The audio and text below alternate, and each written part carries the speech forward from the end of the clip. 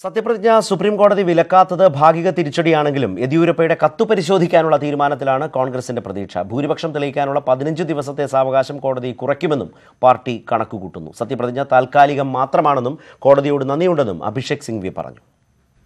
സത്യപ്രതിജ്ഞ സ്റ്റേ ചെയ്തില്ലെങ്കിലും സുപ്രീം കോടതിയുടെ ഇടപെടൽ നിരവധി കാരണങ്ങളാൽ കോൺഗ്രസിന് നൽകുന്ന ആശ്വാസം ചെറുതല്ല.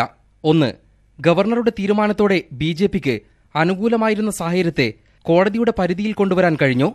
രണ്ട് ഗവർണർക്ക് യെദ്യൂരപ്പ നൽകിയ കത്തുകൾ പരിശോധിക്കുന്നതിലൂടെ തീരുമാനത്തിലെ ശരിതെറ്റുകളും ബി ജെ പിയുടെ ഭൂരിപക്ഷ അവകാശവാദവും ജുഡീഷ്യൽ പരിശോധനയ്ക്ക് വിധേയമാക്കാനായി.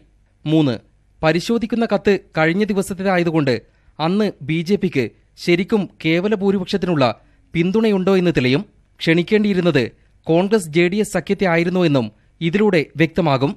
നാല് കത്തിലിനി കേവല ഭൂരിപക്ഷത്തിന് പിന്തുണയുണ്ടെന്ന് മാത്രമാണ് യെദ്യൂരപ്പ അവകാശപ്പെട്ടതെന്ന് കരുതുക. അപ്പോഴും സർക്കാരിയ പുഞ്ചി കമ്മീഷൻ ശുപാർശകൾ ചൂണ്ടിക്കാട്ടി ബി ജെ പിയേക്കാൾ പരിഗണന ലഭിക്കേണ്ടത് മറുഭാഗത്തിനാണെന്ന വാദം ഉന്നയിക്കാം. അഞ്ച്.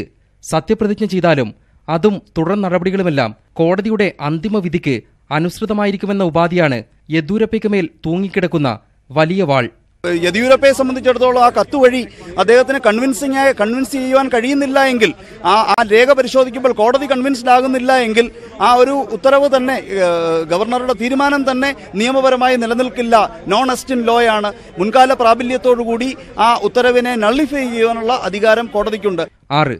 കേസിൽ യെദ്യൂരപ്പയെ കക്ഷി ചേർത്തതിലൂടെ കുതിരക്കച്ചവട ആരോപണങ്ങൾ ഉയർന്നാൽ അതിൽ യെദ്യൂരപ്പയോട് വിശദീകരണം തേടാൻ കോൺഗ്രസിനെ ആവശ്യപ്പെടാം.